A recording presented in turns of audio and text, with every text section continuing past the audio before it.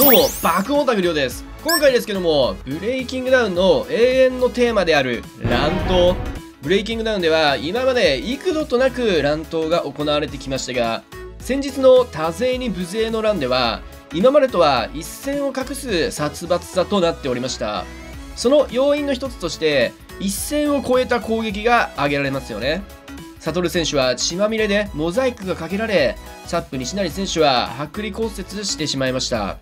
そんな中、ブレイキングダウンは同様の理由で炎上したことが今までもありました。それは、ブレイキングダウン6前日記者会見での出来事。合図の伝説選手が大会を盛り上げるために椅子を振り上げ突撃し、正雄イムリナ選手は流血してしまいました。普通に警察沙汰だろう。とコメント欄は大荒れし、その後、緊急で謝罪動画が上がり、久保田選手は頭を丸め、リング上でも謝り、ブレイキングダウンに出る資格はないと残し、その場を去りました。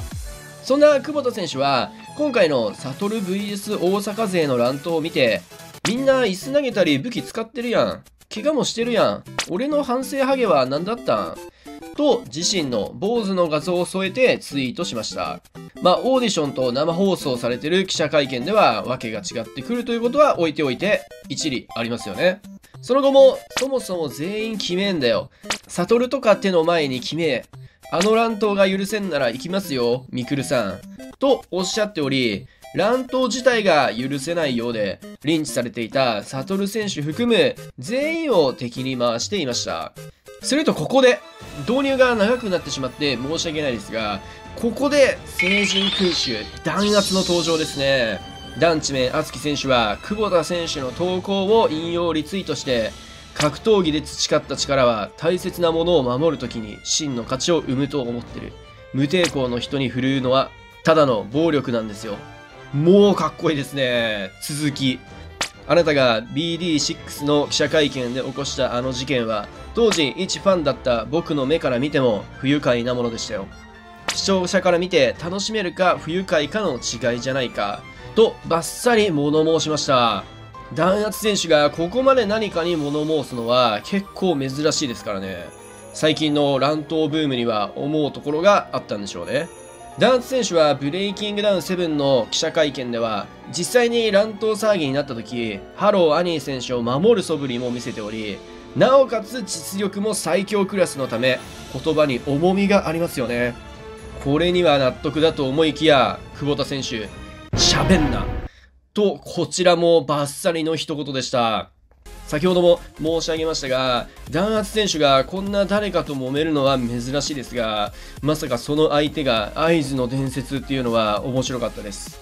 正直、久保田選手サイドは反論の余地がないようにも感じますが、この喋んなにはどういう意図があるのか気になるところです。ブレイキングダウンは毎回毎回過去一を更新してきており、今回の多勢無勢の乱も間違いなく過去一であり、むしろもうこれを超えてはいけないところまで来ていますがそれもあってかボリューム3での乱闘はどこか物足りなさを感じた人も少なくないはず。もちろん乱闘もブレイキングダウンの醍醐味ですが初期の10人2期、不破野くん、東大2期など、まあ、挙げればキリがないですが、乱闘せずとも素晴らしい取れ高を作ってきた選手も今までたくさんいましたので、そういった方向でも過去一を更新していってほしいです。まあ、最近ね、不良系が格闘技で活躍しちゃうと、親が子供にやらせたがらないから、格闘技界の裾野が狭くなるというね、まあ、議論なんかもありますが、富澤君や弾圧のような、子供がまっすぐ憧れることができる選手が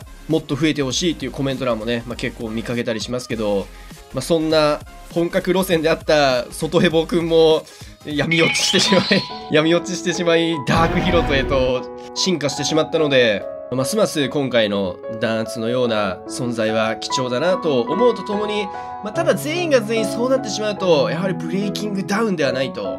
ウリダさんもオーディション中におっしゃっていましたが、エッジが効いていないと、やはりブレイキングダウンは面白くないので、その辺の配分が難しいところですよね。ただ、今回の多勢に今後はさすがにそうポンポンは出てこないなとは思いますが、まあ、これで結構盛り上がったね、良かったねになってしまうと、まあ、確かに後ろからの攻撃はありなのか、袋叩きにするのはありなのかっていう話になってきましたからね。